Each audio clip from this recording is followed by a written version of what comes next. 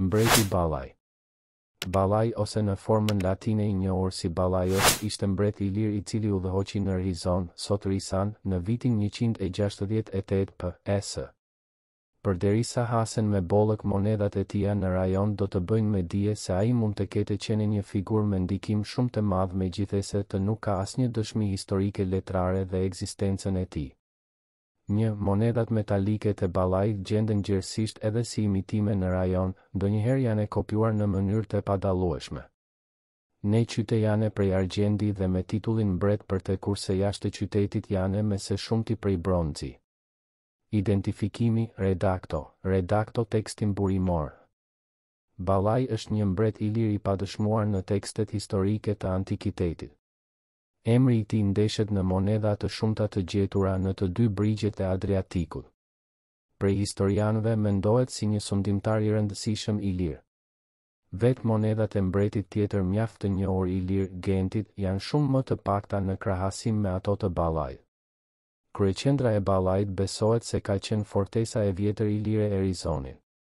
Sipas mendimit të shumicës së historianëve modernë, Ballai ka trashëguar mbretërinë ardiane të Gentit pas vitit njëqind e gjashtëdhjetë e tetë PES. Ai mund të ketë marrë pjesë në fushatën romake kundër dalmatëve në vitin njëqind e pesëdhjetë e gjashtë para Krishtit. Tit Livi shkruan se pas humbjes kundër romakëve, mbreti Gent dërgoi dy pjesëtarë të fisnikërisë ilire si ambasadorë në Romë për të negociuar me romakët. Emrat e këtyre ambasadorëve janë Teuticus dhe Bellus, ndaj historiani Hasan Ceka ka ngritur hipotezën se emri i Bellusit mund të ketë qenë një transkriptim i gabuar për Ballaios.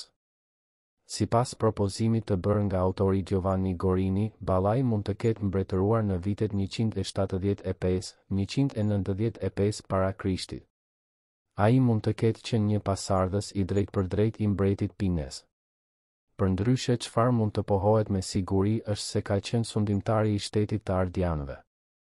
Monedha e Ballait me mbishkrimin e gjatë është dalluar se është fabrikuar në qytetin e Rizonit ndërsa monedha me mbishkrimin e shkurtër dhe imazhin e kokës së mbretit, e cila është më e vjetër, është fabrikuar në ishullin e Farit.